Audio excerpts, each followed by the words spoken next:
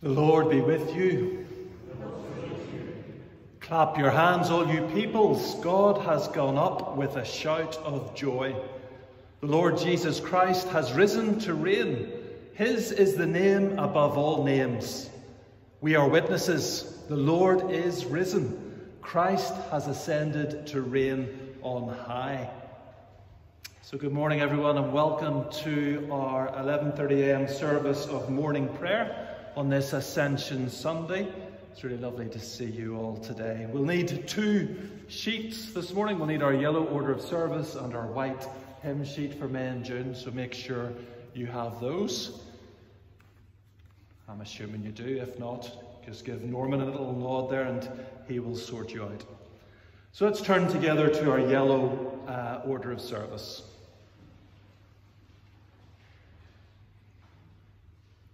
Beloved in Christ, we come together to offer to Almighty God our worship and praise and thanksgiving, to confess our sins and to receive God's forgiveness, to hear His holy words proclaimed, to bring before Him our needs and the needs of the world, and to pray that in the power of His Spirit we may serve Him and know the greatness of His love. So let's confess our sins to God our Father, and we'll take a moment of silence before we join together in our prayer of confession.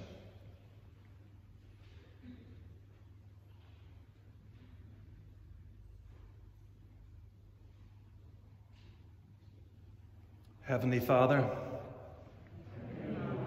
we have sinned against you and against our neighbour in thought and word and deed, through negligence, through weakness, through our own deliberate fault, by what we have done and by what we have failed to do. We are truly sorry and repent of all our sins. For the sake of your Son, Jesus Christ, who died for us, forgive us all that is past and grant that we may serve you in newness of life to the glory of your name. Amen. And may Almighty God, who forgives all who truly repent, may he have mercy upon you. May he pardon and deliver you from all your sins, confirm and strengthen you in all goodness, and keep you in life eternal. Through Jesus Christ our Lord. Amen. We stand together.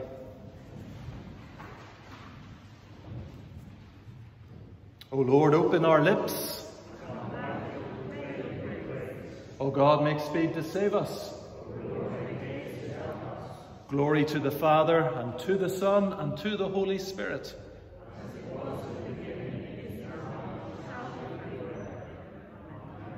Praise the Lord.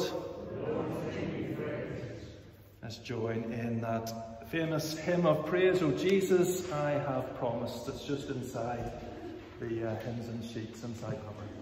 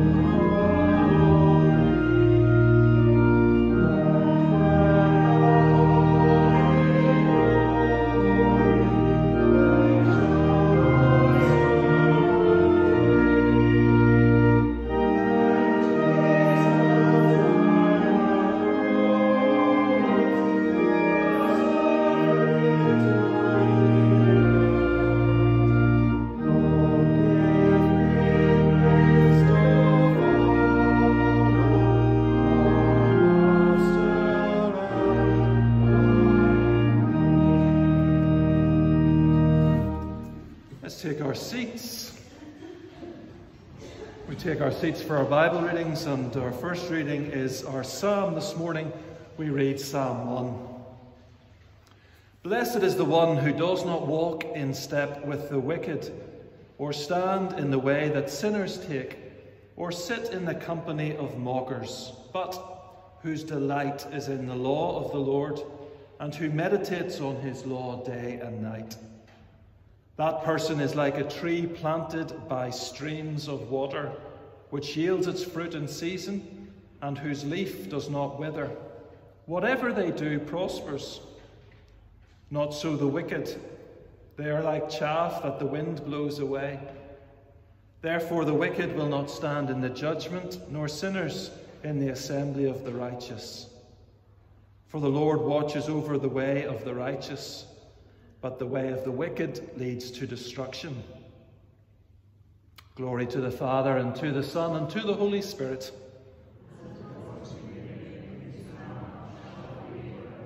Amen. Our Old Testament Bible reading this morning is from Jeremiah, Jeremiah chapter 17, beginning at verse 5. This is what the Lord says Cursed is the one who trusts in man who draws strength from mere flesh and whose heart turns away from the Lord. That person will be like a bush in the wastelands. They will not see prosperity when it comes. They will dwell in the parched places of the desert, in a salt land where no one lives. But blessed is the one who trusts in the Lord, whose confidence is in him. They will be a tree, they will be like a tree planted by the water that sends out its roots by the stream. It does not fear when heat comes. Its leaves are always green. It has no worries in a year of drought and never fails to bear fruit. The heart is deceitful above all things and beyond cure. Who can understand it? I, the Lord, search the heart and examine the mind to reward each person according to their conduct according to what their deeds deserve. This is the word of the Lord.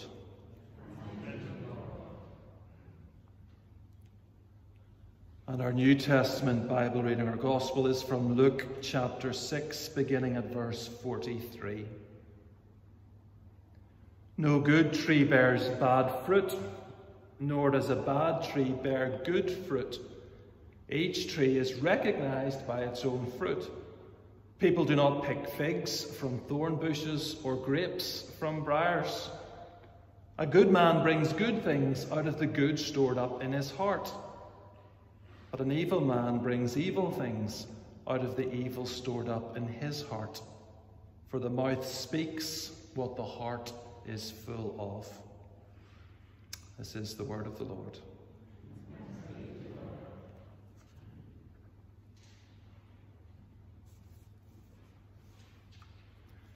Let's stand together, turning to our yellow orders of service. And we declare our faith in the words of the Nicene Creed.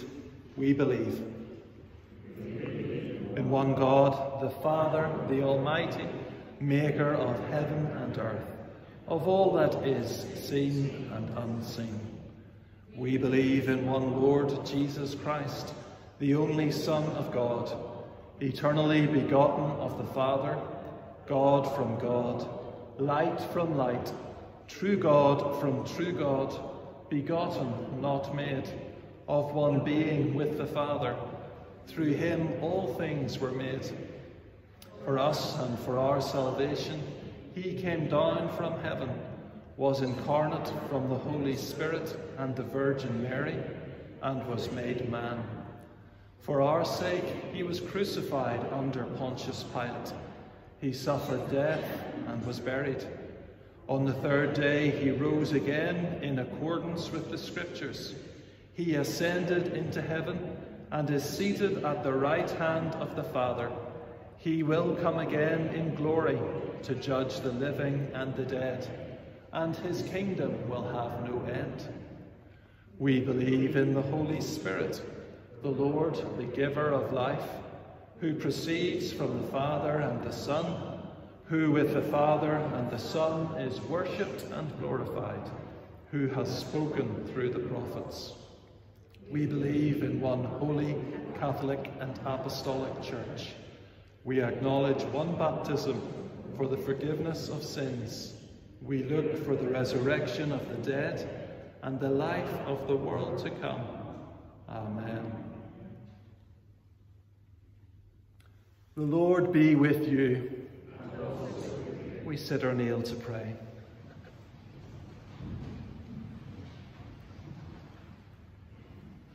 Lord, have mercy. Lord, have mercy.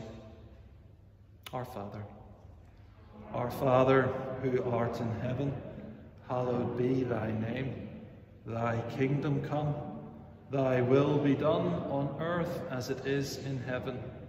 Give us this day our daily bread, and forgive us our trespasses, as we forgive those who trespass against us.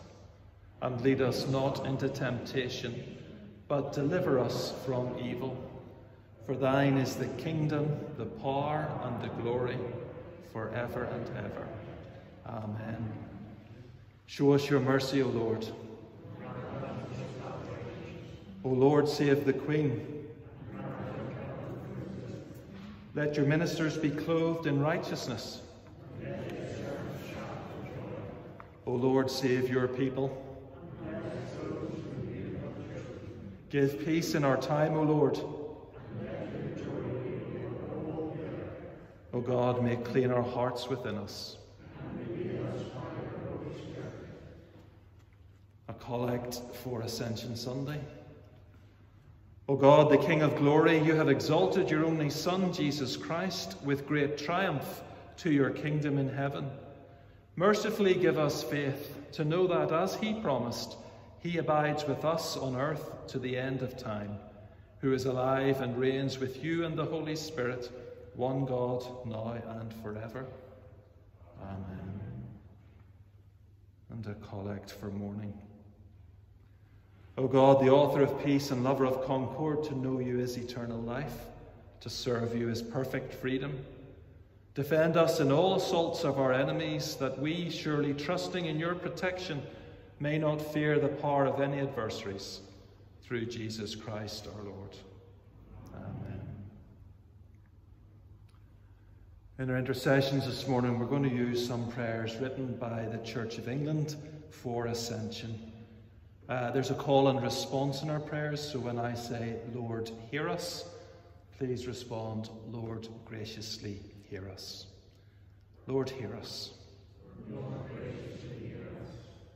So let us join our prayers with those of our Saviour Christ, seeking the Father's blessing and the gifts of the Spirit. Jesus Christ, great high priest, living forever to intercede for us, we pray for the church your broken body in the world.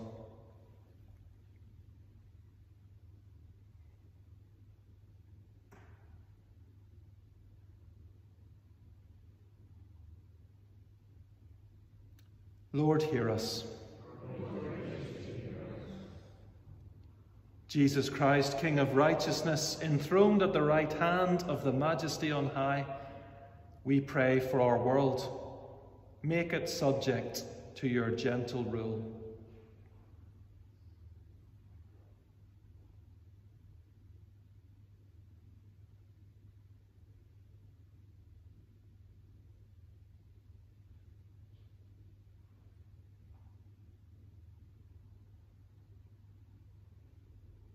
Lord, hear us.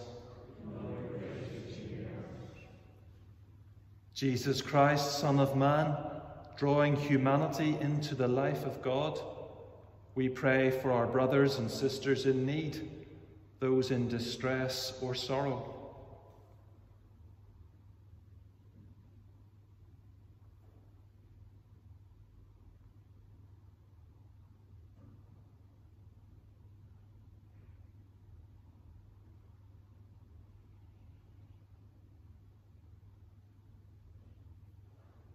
Lord, hear us.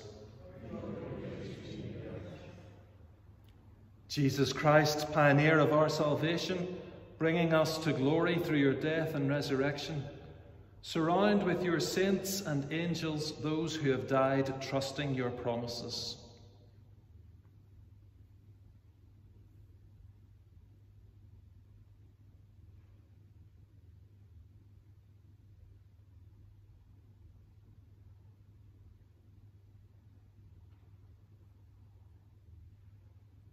Lord, hear us. Jesus Christ, Lord over all things, ascended far above the heavens, filling the universe.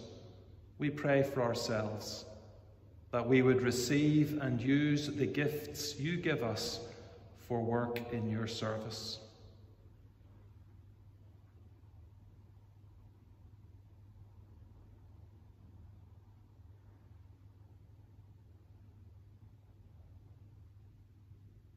Lord, hear us. Jesus Christ, keep the church in the unity of the Spirit and in the bond of peace, and bring the whole created order to worship at your feet. For you are alive and reign with the Father and the Holy Spirit, one God, now and forever. Amen. And living God, as we turn to your word now, and as we continue our series looking at the things Jesus didn't say so that we can focus in on what he did say. We pray for your spirit to speak into our hearts. Would you be with Sonia now as she comes to speak in Jesus' name? Amen.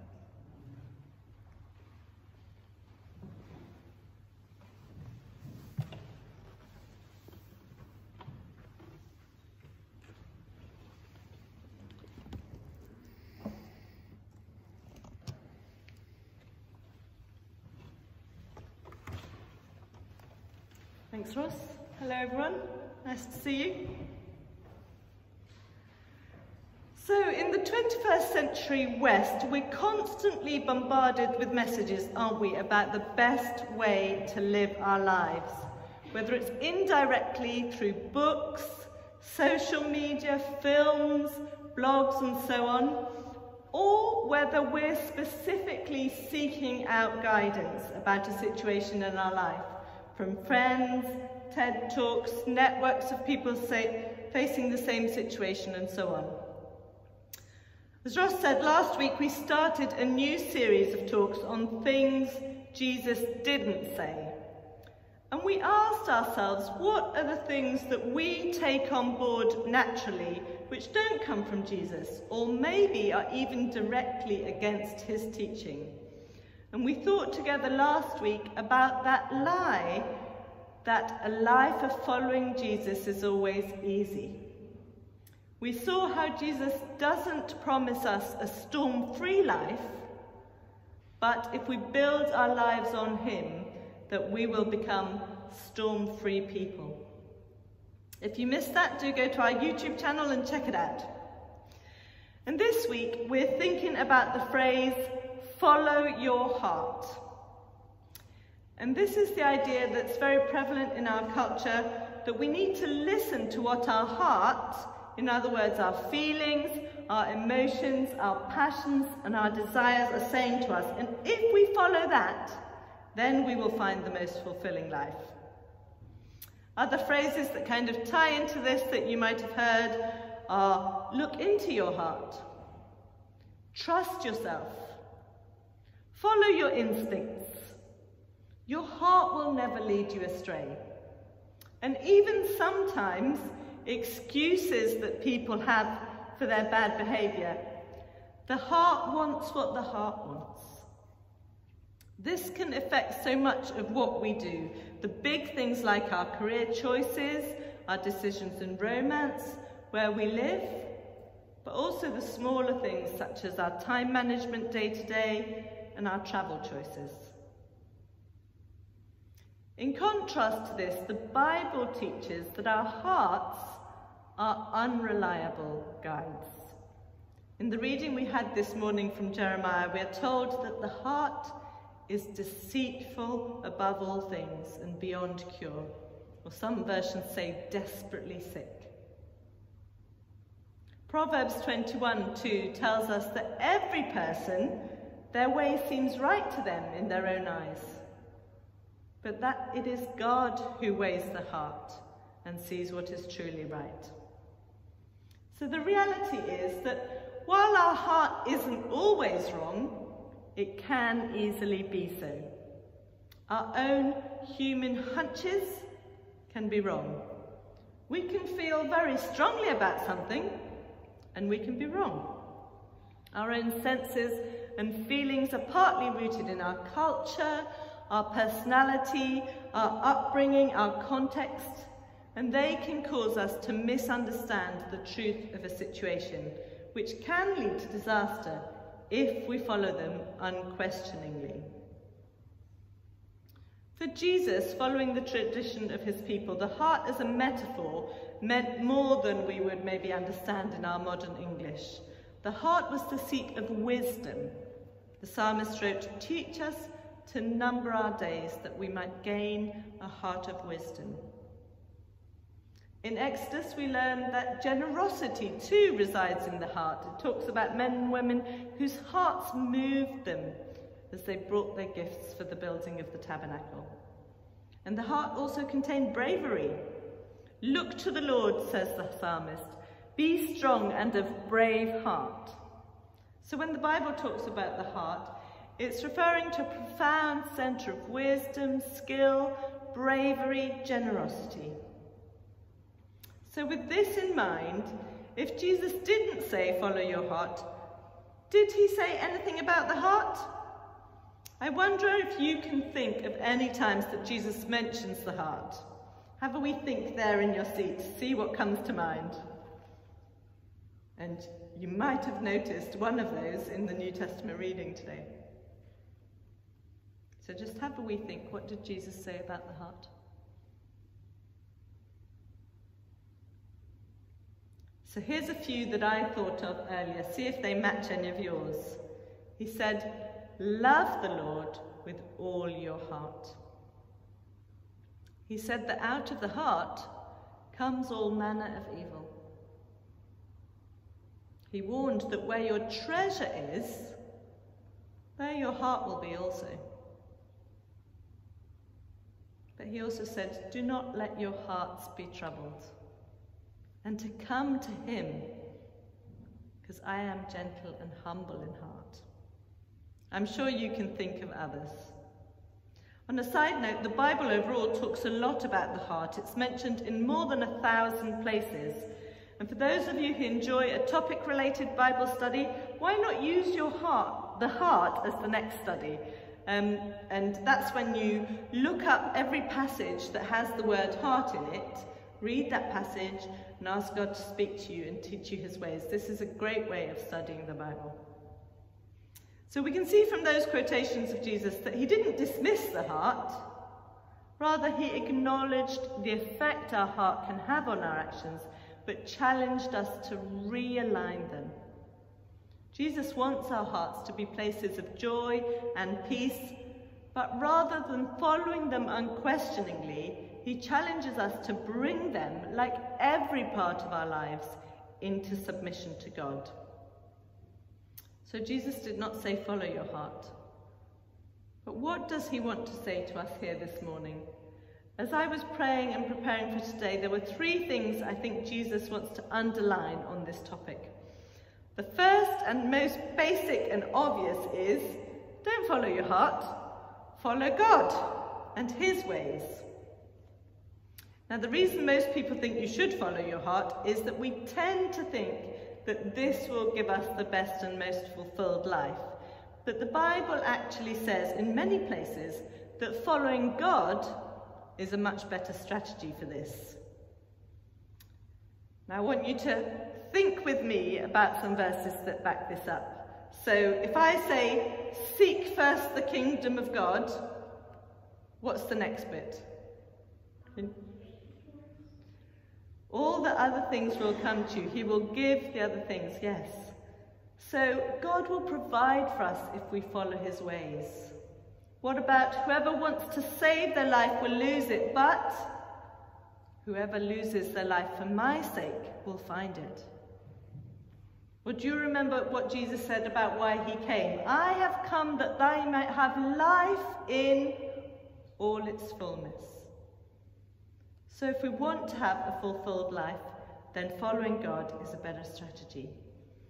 The upside down nature of the kingdom of God, which we've talked about before, is that when we do put God first, when we truly follow his ways, then we'll also receive the benefits of fulfillment, peace, joy, freedom, security, and all those things that we might be looking for if we follow our hearts.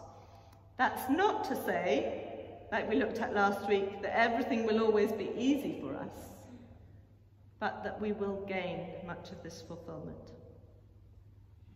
The Old Testament presents, in a lot of places, two ways of living life.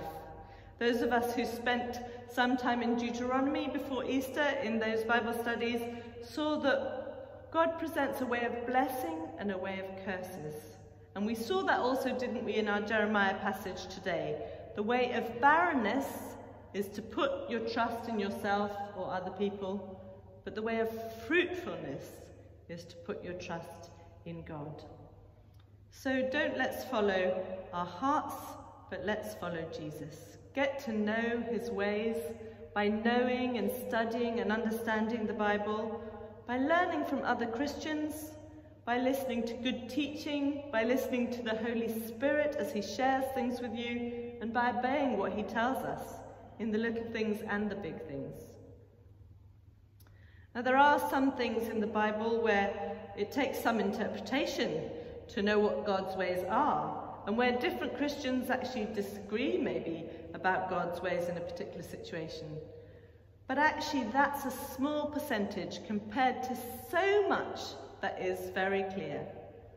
Jesus tells us to be kind to all we meet, not to gossip, to be truthful in all we say, to be faithful to our marriage partners, to pay our taxes, to forgive anyone who's wronged us, to be generous, to pray for and honour those in authority, to give to the poor, and so many other things.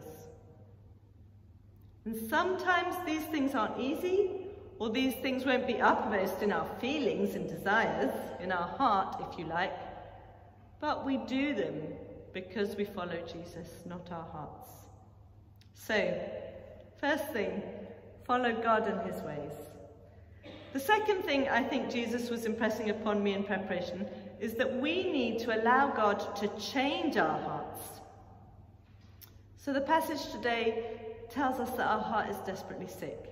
And there's much in the Bible about problems in our hearts. The New Testament passage we read, Jesus talked about the evil that comes out of people's hearts.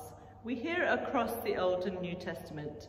You might remember the prophet Ezekiel talks about us having hearts of stone, but that God wants to replace that with a heart of flesh. I wonder if you've heard this quote from Alexander Solzhenitsyn, a 20th century Russian novelist, philosopher, historian, political prisoner, Nobel Prize winner, but also a devout Russian Orthodox Christian. And he said, The line separating good and evil passes not through states, nor between classes, nor between political parties either, but right through every human heart and through all human hearts. This line shifts. Inside us, it oscillates with the years. And even within hearts overwhelmed by evil, one small bridgehead of good is retained. Our hearts, sadly, do have a terrible capacity for evil, but God can transform them and make them more and more pure and full of compassion. The psalmist David prayed, Create in me a pure heart, O God. And this is what we should be praying daily. So, how do we allow God to change our hearts? Like so many things in the Christian side, there's a positive thing that we can do and a negative side as well. On the positive, we can turn our hearts to God. We can learn to delight in God, praise and worship meditating on God's character, reveling in the stories of God's goodness in the Bible, in history, in current accounts of people across the world, within our church family. Let's ask each other about what God has done in our lives and let's enjoy that. Psalm 37, verse 4 says, Delight yourself in the Lord, and he will give you the desires of your heart. As we grow in loving God and taking pleasure from him, we will see more and more things that our hearts want. Partly because God changes our hearts to desire better and better things as we immerse ourselves in him. But the flip side of that is shown in the command to guard our hearts. Proverbs 4 verse 23 tells us to guard our heart because everything we do flows from it.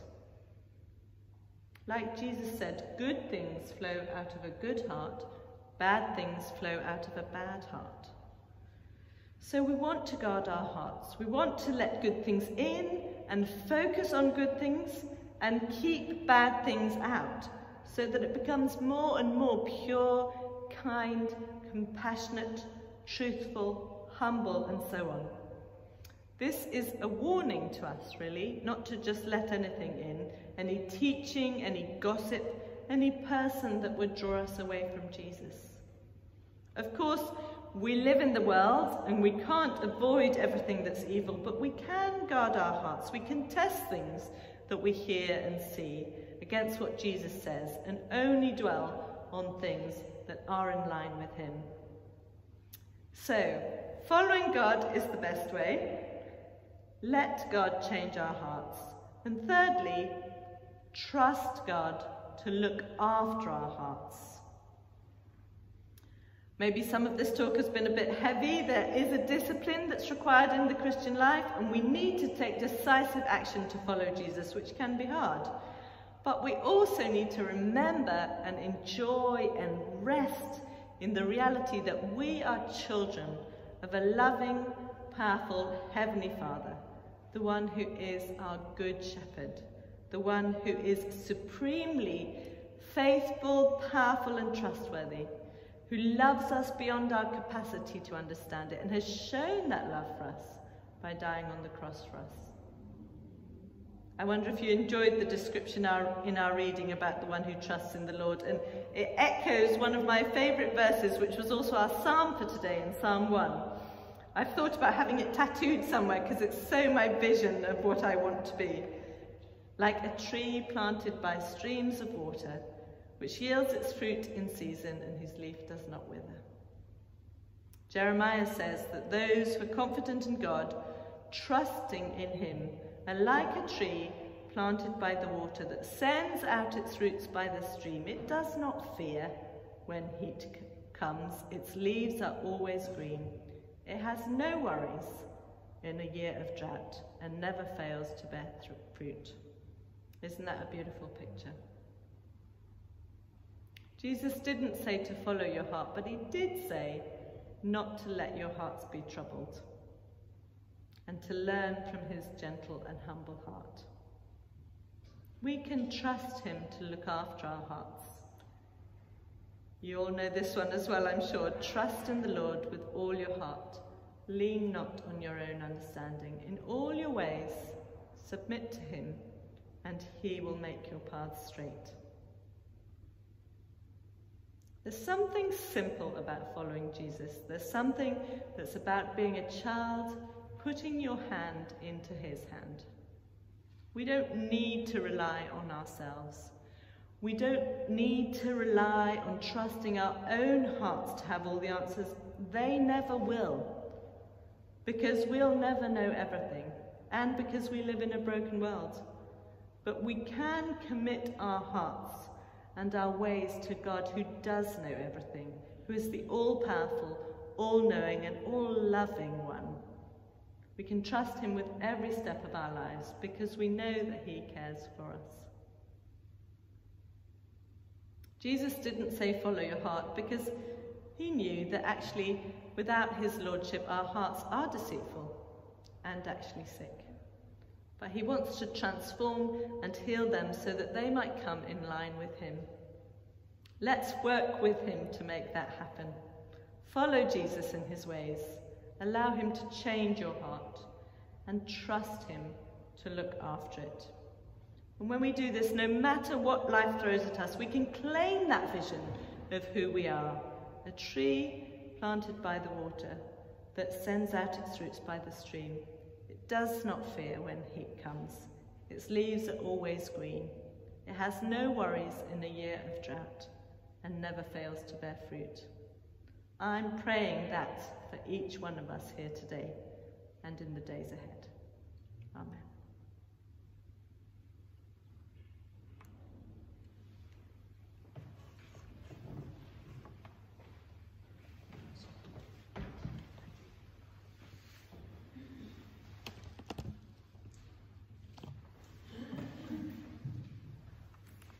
Thanks, Sonia.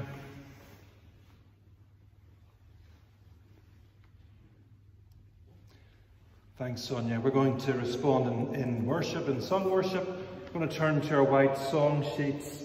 We're going to sing together, Breathe on me, breath of God. You'll see there, verse 2 Breathe on me, breath of God, until my heart is pure. Until with thee I will one will to do and to endure. Let's use this as our prayerful response to what we've been hearing about, that God would mould our hearts to be in line with his heart. We stand to sing.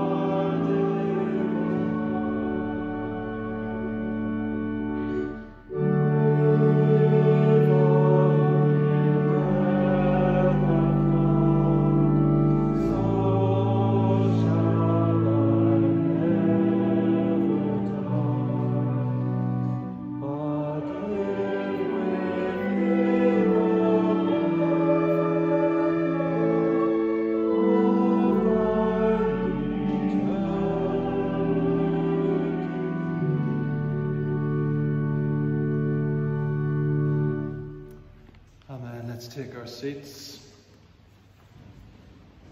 Oh, may that be our prayer in this week ahead, that the Holy Spirit would breathe on us and mould our hearts. Just a few notices before we conclude our service with uh, a closing prayer. Um, this Tuesday night, we've been announcing we're beginning a five week prayer course. It's um, particularly focusing on an unanswered prayer, unanswered prayer. And uh, it will be on Zoom at 8 p.m. for the next five weeks. The format is that there's a bit of teaching, a bit of a video conversation, and then we have an opportunity to talk through the different issues raised. So I commend it to you. Do join in with that uh, on Zoom from this Tuesday. Uh, the login details will be on all the usual social media platforms. If you haven't a clue what I'm talking about, talk to us too, and we will link you up and show you how to connect with that through Zoom, okay? Next Sunday is Pentecost Sunday, and uh, we're going to be celebrating Holy Communion together next Sunday. Uh, in line with the ongoing restrictions, how we'll do that is you'll stay in your seats and we'll bring you the bread and the wine in individual cups. So we'll do it as safely as is possible. Um, and obviously, if you choose not to partake for any reason at all, you just have to indicate like this. So don't stay away. In fact, come hungry to take the bread and the wine and to celebrate Pentecost with us next Sunday. The end of the month of May 29, we're having a day of prayer and we'll be joining in with Christian Aid's climate change prayer chain for that day. So, how that works is that each of us signs up for an hour to pray um, using the resources that we'll send out that week. Again, the uh, sign up details are on the usual channels, but if you would like to sign up and you're not au fait with those usual channels, just say, Ross, I'd love to pray from 9 to 10, say, or from 1 to 2, and we'll make sure that we add you in there. It'd be great if as many of us as possible were praying with Christian Aid. And then finally, thank you for the way that you've been uh, following the uh, protocols about coming in and out of the building. And again, just to remind you, please just follow Norman's guidance whenever we finish the service so that we don't all bottleneck at the door. Let's get out into the open air and then we can chat away. Please stand.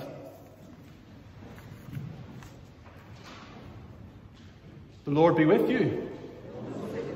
Let us bless the Lord. May God the Father, who has given to his Son the name above every name, may he strengthen you to proclaim Christ Jesus as Lord. May God the Son, who is our great high priest, passed into the heavens, may he plead for you at the right hand of the Father. And may God the Holy Spirit, who pours out abundant gifts upon the church, make you faithful servants of Christ our King. And the blessing of God Almighty, the Father, the Son, and the Holy Spirit be with you this day and always. Amen. Waiting expectantly for the promised Holy Spirit, go in the peace of Christ.